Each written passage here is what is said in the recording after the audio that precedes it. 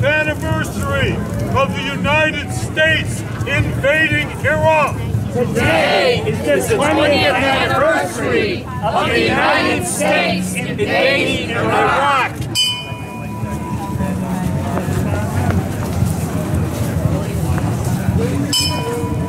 One hundred thousand soldiers have died, and two hundred thousand civilians have died. 100,000 soldiers have died and 200,000 civilians have died.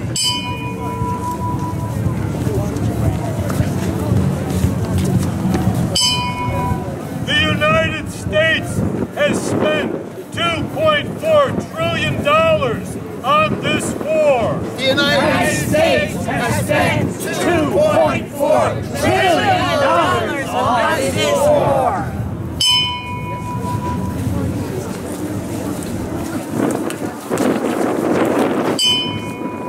When will we learn that life is more precious than money and power? When will we learn that life is more precious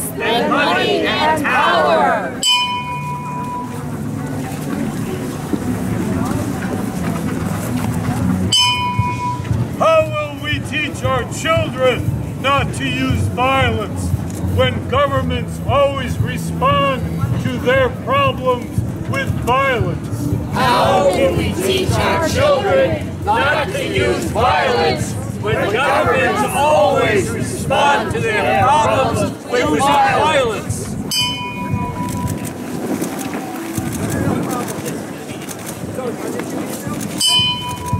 How can we end this cycle of violence?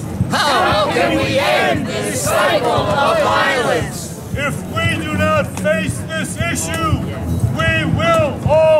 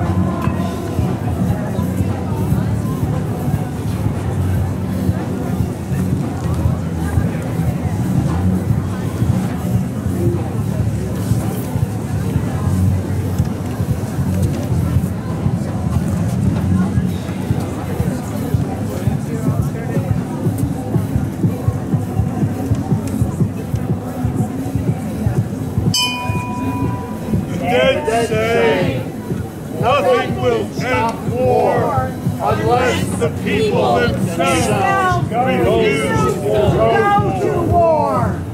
The dead say What I really learned in the army is how to be a.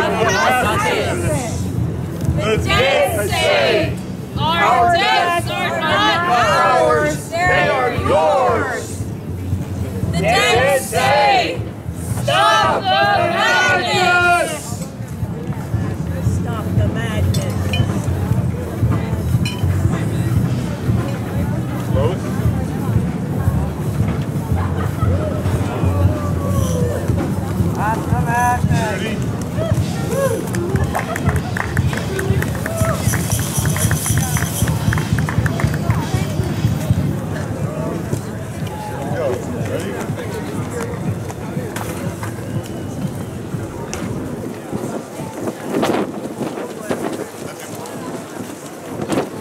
desperately need a ceasefire and negotiations to end the brutal Russian war in Ukraine today.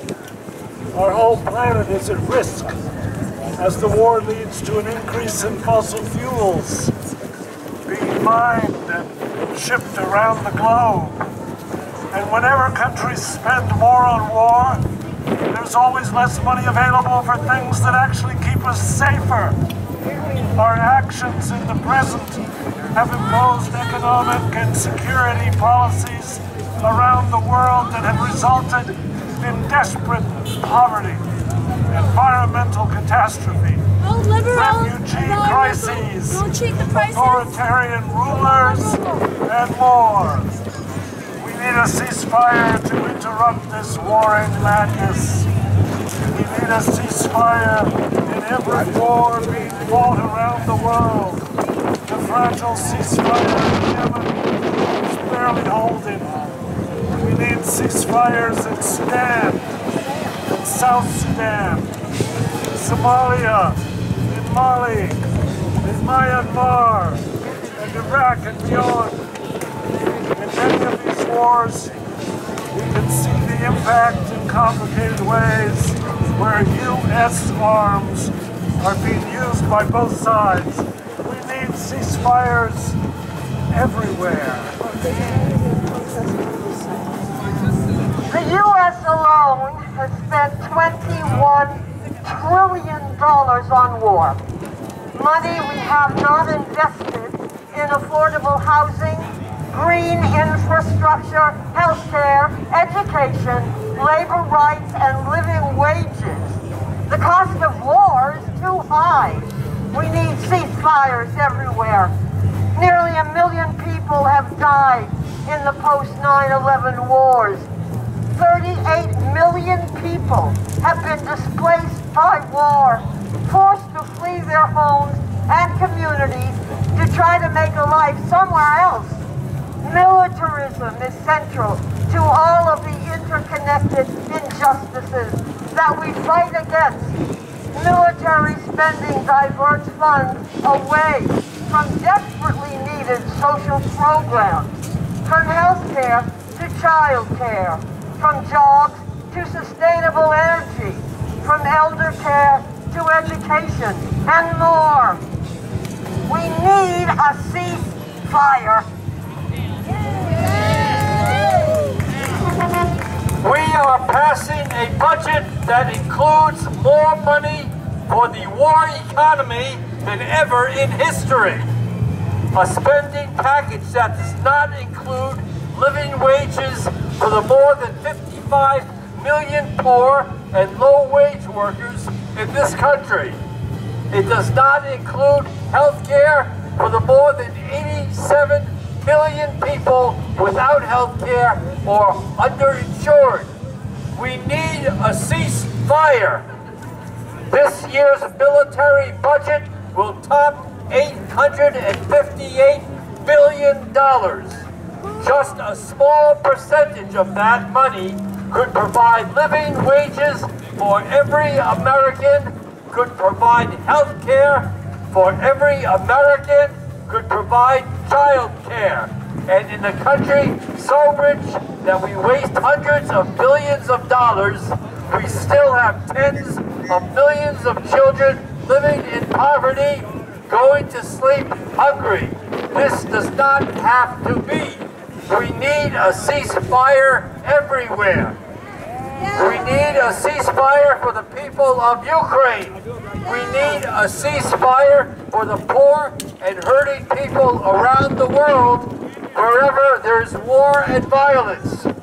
Whether that war and violence is because of greed or lust for power or racism or anti-Semitism or Islamophobia or homophobia, we need a ceasefire. We need a ceasefire right now. We are facing the most serious threat of nuclear annihilation in 60 years, and that's incredibly dangerous for flawed human beings to have that kind of power. War can no longer be imagined as a negative good, a necessary evil to prevent some greater harm. The destructiveness of modern weapons totally rules out the possibility of war achieving a negative good. If humanity has a right to survive, then we must find an alternative to war and destruction. We need a ceasefire in order to make an honest assessment of where we are. If we can put our weapons down for just one night, then maybe we could put them down for one tomorrow. If we could put them down for one tomorrow, maybe we could put them down for one week. And if we could put them down could put them down for one month. And if we could put them down for one month, maybe we could put them down for one year and study no and study war no more.